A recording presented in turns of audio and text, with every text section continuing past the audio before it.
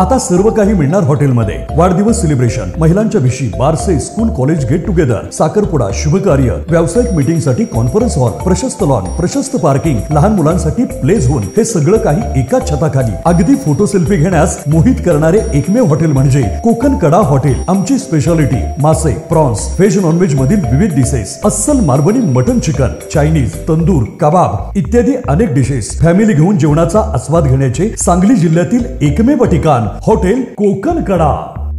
नमस्कार मी अरुणा आणि आपण पाहत आहात सेव्हन स्टार न्यूज.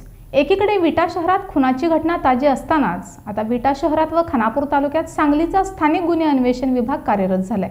त्यांनी विटा शहर व खानापूर येथे सहा ठिकाणी जुगार व मटका अड्ड्यावर छापा टाकलाय.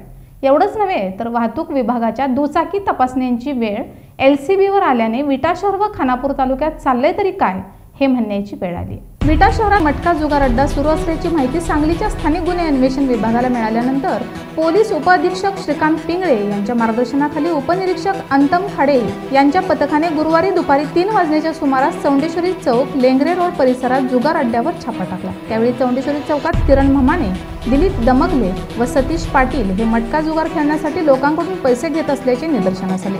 त्यावेळी पोलिसांनी या तिघांना ताब्यात घेतले. त्यानंतर घुमटमाळ परिसरात ओढ्यालगत नवाज मुल्ला हा जुगार अड्डा चालवित असल्याचे पोलिसांना समजल्यानंतर त्यांनी येथे छापा टाकून मुल्ला या एजंटास अटक केली. त्यानंतर गुरुवारी याच पथकाने खानापूर येथे बस स्थानक परिसरात एका पान टपरीत आमिर फिरजादे व अब्दुल गनी फिरजादे यांच्या जुगार अड्ड्यावर छापा टाकून या दोघांना अटक केल्याचे सांगण्यात आले. गुरुवारी पोलिसांनी टाकलेल्या छाप्यात रोख रकमेसह बत्तीस हजार आठशे दहा रुपयांचा मुद्देमाल जप्त केला. या पथकात हवलदार प्रवीण शिंदे सागर टिंगरे राहुल जाधव उदय साळुंके चेतन महाजन निलेश कदम साईनाथ ठाकूर महादेव धुमाळ सीमा लांडगे प्रियांका धुमाळ सुधीर गोरे बजरंग शिरतोडे आदी सहभागी होते.